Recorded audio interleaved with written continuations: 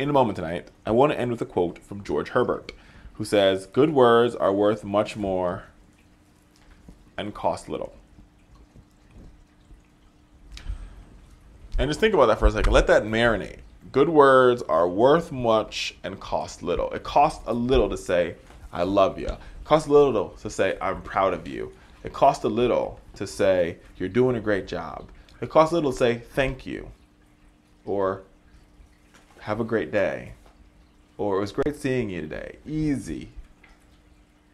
But they're worth so much.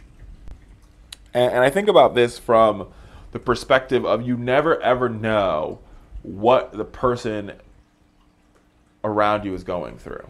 You never know. You never, never, never know. And there, it happens all the time.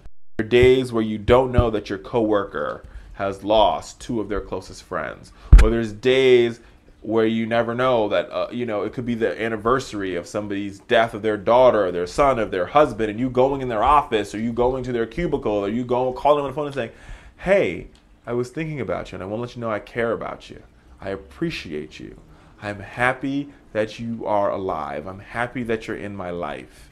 And what that means to that person. How you can minister to them by saying just hello and we don't do that enough. And I think as our culture becomes more and more electronic and more and more iPad, iPod focused, headphones always in, we spend a lot of our times in silence. I think about commuting on the DC Metro rail.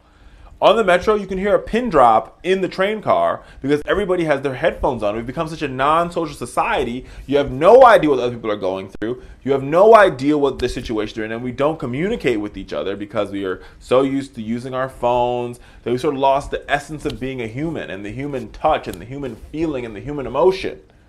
That good words are worth even more, and that I, I would argue. Because when you're on the metro and you say to the person next to you, How's your day going? The fact that you stopped her, hi, good morning, it's good to see you.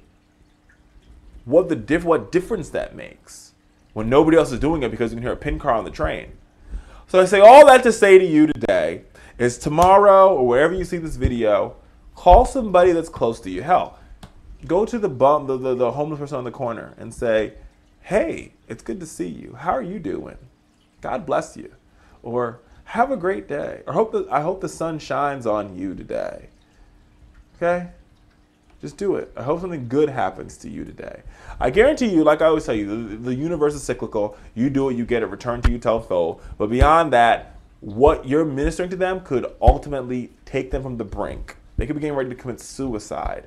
They could be getting ready to go into severe depression, and you talking to them saved them. Think about that.